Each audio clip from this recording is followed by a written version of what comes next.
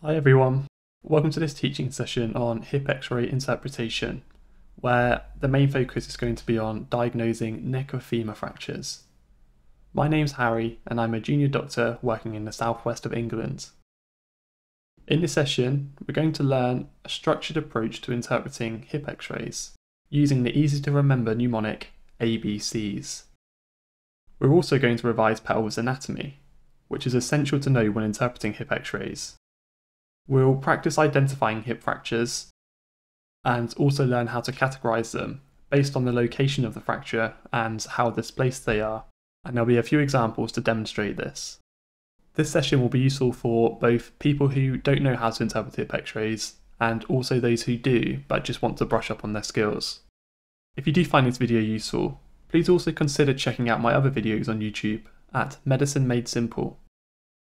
So let's get started with the first half of the session, where we're going to look at hip x-ray basics and how to interpret them. The mnemonic we can use to interpret hip x-rays in a systematic way is ABCs. This stands for adequacy and alignment, where you're looking at the quality of the x-ray image and checking it's not wonky. Bones, where you're systematically going through each bone, checking the outer cortex and the bony texture in the middle, looking for things like fractures and bone malignancy. Cartilage is where we're going to look at all the cartilaginous joints in the hip x-ray. When looking at these, we're mostly looking for any signs of arthritis or dislocations. We'll move on to how to identify these shortly. And soft tissue and other. This is a reminder to check the surrounding soft tissue for any swelling or edema there's also a few other things to look out for here, which we'll come on to shortly. Following a systematic approach like this is important when assessing any medical image. It means you're less likely to miss out anything that's important, and it also gives you a structure to follow when reporting these. For example, if your consultant asks you to verbally feed back what you can see on an x-ray. But before you start with this structure, you should always check patient demographics, image time and date, and image projection. For patient demographics, check the name, date of birth, and hospital number. You don't want to end up interpreting the wrong patient. Image time and date is also important. Patients might have multiple hip x rays and may even have multiple hip x rays from the same day, so it's important to make sure you're looking at the right one. Image projection refers to the orientation of the patient in relation to the x ray source. Hip x rays are usually in anterior posterior projection, or AP. This means that the anterior part of the patient, or their front, is facing the x ray source, and then their posterior, or back, is facing away from it. When looking for fractures, it's also important to look at a lateral view, where the x ray is taken from the side. This session will focus on AP hip x rays, since these are the ones you're more likely to see in exams and clinical practice. So let's go through the structure one step at a time. First is adequacy and alignment, which is a quick assessment of the image quality. An adequate image means we can see the entire pelvis, from the top of the iliac crests down to the femoral shafts. An aligned image will have the coccyx and the pubic symphysis both in the midline. Next is bones. For this, we need to know the bony anatomy, as highlighted here. We should be able to visualise the lower lumbar vertebrae so here we've got L4 and L5. Then below this, the sacrum should be visible. And just below the sacrum is the coccyx. Obviously, the pelvis also should be visible. And this can be split up into three anatomical parts. You've got the ilium, the ischium, and the pubis. These all join together at the acetabulum. The acetabulum will communicate with the femoral head forming the acetabular joint. When assessing bones, you need to be looking at all of these pieces of bony anatomy, comparing left to right, looking for any asymmetries. We need to assess the outer cortex of the bone and the bony texture in the middle. Common pathologies that you can pick up on when assessing bones are things like fractures and bone malignancy. There are three sets of lines that we also need to assess when looking at bones. Firstly is the pelvic brim, which should be mostly circular and symmetrical on both sides. Then there are the two obturator foramina. Again, these should have a smooth outline and be symmetrical. Any asymmetry here may represent a fracture, for example, in the superior pubic rami or the inferior pubic rami. The final line to assess is Shenton's line. This is found bilaterally, following the medial edge of the femoral neck and the inferior edge of the superior pubic rami. So any asymmetry in the structure of these bones, discontinuations in their cortex, or disruption to these lines could be a result of a fracture. Whilst assessing bony texture, we need to be looking for lytic lesions, which is where the bone is being broken down, or sclerosis, which is areas of hardening of the bone. These are both signs for bone malignancy, which could be from an osteosarcoma, which is a primary bone cancer, or more commonly from bone metastases. Common cancers that will metastasize to the bone are prostate, kidney, lung, and breast. This hip x ray belongs to a patient who has breast cancer. There's evidence of bone metastases here, and I'll give you a few moments to see if you can spot where it is. Remember, for bone malignancy, we're looking for any areas of change in the texture of the bone, comparing the right side to the left side for any asymmetries.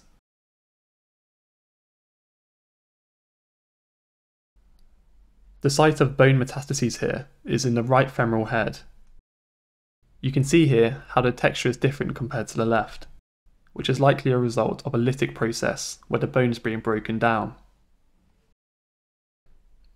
Fractures of the femur are a common finding in hip x-rays. This hip x-ray is normal, so that's probably why you can't see one, but we'll look at fractures in more detail in the second half of this session. Next in our ABC's mnemonic is cartilage. There are three cartilage containing joints that we need to assess here. There's the acetabular joints, which is present on both sides, the sacroiliac joint, where the sacrum attaches to the ilium, which is also present on both sides. Then there's the single pubic symphysis, which is the joining between the two pubis bones. Whilst inspecting these, we're looking for any signs of arthritis or dislocation. Here, we're looking at the pathology in the left acetabular joint. This patient has severe osteoarthritis in the left hip. There are four osteoarthritis signs that can be remembered using the mnemonic CONS.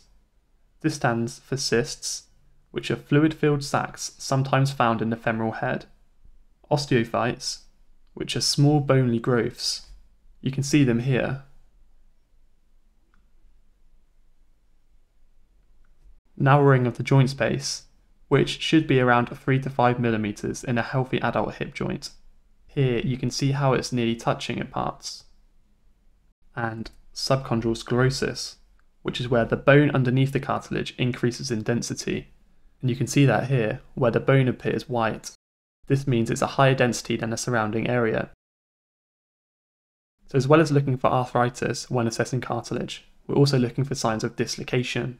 Again, looking at those three different joints, one of them has signs of dislocation in his image. This gentleman has a posterior dislocation of the right acetabular joint. The femoral head can be dislocated posteriorly or anteriorly.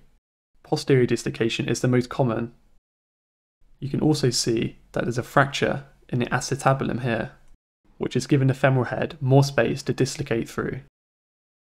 Patients with a dislocation like this in their hip will often have a shortened and internally rotated leg. You may also see hip dislocations associated with hip replacements. It's a common complication that can happen post-op and may be due to poorly fitting femoral head and acetabulum, or due to damage or stretching of the surrounding ligaments and soft tissue, which usually hold the hip joint in place.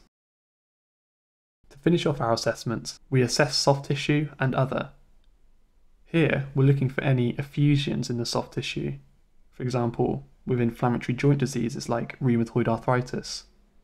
We might also see signs of a periosteal reaction, which could be a result of a healing fracture or cancer. Calcifications, for example, phleboliths or arterial calcifications, and then foreign bodies, like you can see here in the form of bilateral total hip replacements, You can see here this is a total hip replacement because both the femoral head and the acetabula have been replaced. For the remainder of the session, we're going to focus on femur fractures, where you'll learn how to identify and categorise them, which is an important skill to have nailed down as a medical student or junior doctor. We classify femoral fractures based on the location of the fracture. Broadly speaking, hip fractures can either be intracapsular, like the top three here. This first one is a capital fracture, going through the femoral head.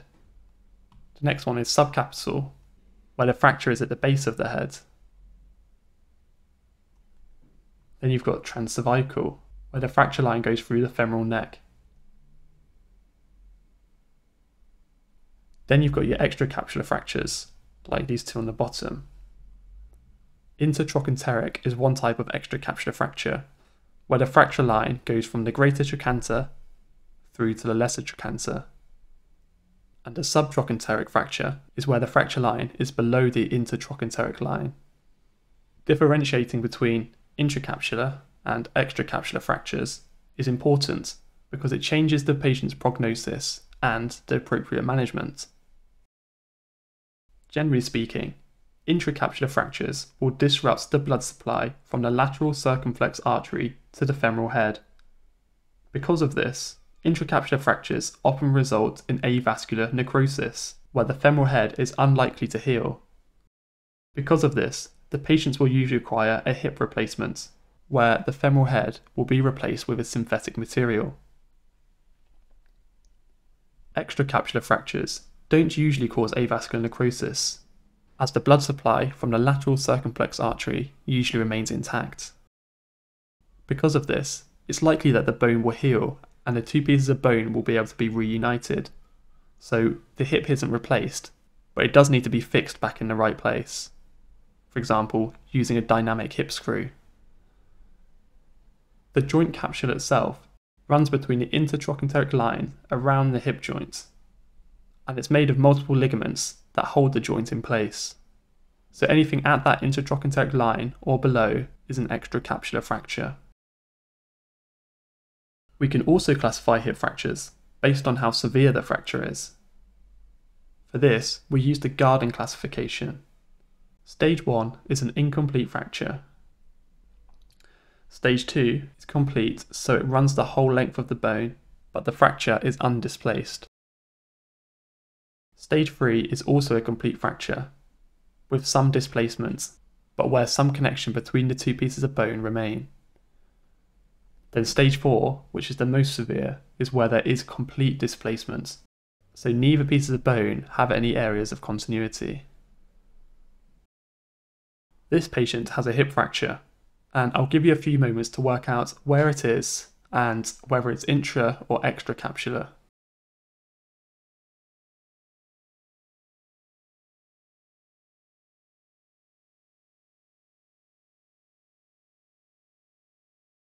So this patient has a left-sided subcapital fracture.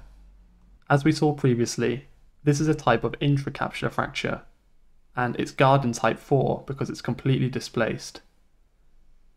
Notice here the asymmetry between left and right, and also notice how there's disruption to Shenton's line. The Shenton's line on the right is nice and smooth. On the left, not so much. Because it's an intracapsular fracture, the blood supply to the femoral head is likely disrupted, so this patient's going to need a hip replacement.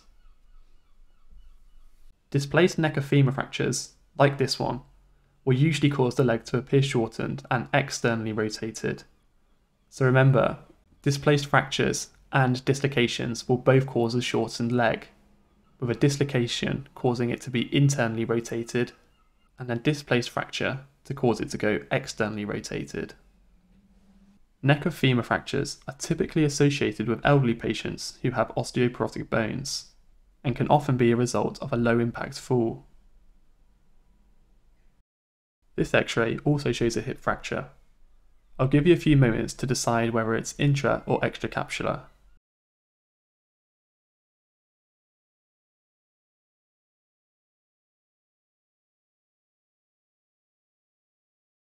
Here you can see the fracture line running from the greater trochanter down to the lesser trochanter. So this is intratrochanteric. Remember, that's at the edge of the joint capsule and is considered an extracapsular fracture. There's also a fracture and displacement of the lesser trochanter. Because this is an extracapsular fracture, it's unlikely that the blood supply is disrupted to the femoral head, so we don't need to replace it, but it does need fixing in place, which may be done with a dynamic hip screw. So let's do a quick recap of everything that we've covered in this session, so that you can leave with everything fresh in your mind. We started by learning how to interpret the hip x-ray, using a structured and easy to remember approach, using the mnemonic ABCs. But remember, before we do any of this, we check the patient demographics, the image time and date, and the projection of the image. Most hip x-rays are taken in AP, or anterior posterior projection, like this one here. This means that the patient is facing the source of the x-ray. Then we move on to our interpretation. Adequacy and alignment is a quick assessment of the image quality. Here, you want all of the hips visible, from the top of the iliac crest down to the femoral shafts. And you want to make sure nothing's cut off from the outside. Alignment means that the coccyx and the pubic symphysis are lined up nice and vertically and are pretty much in the midline of the image.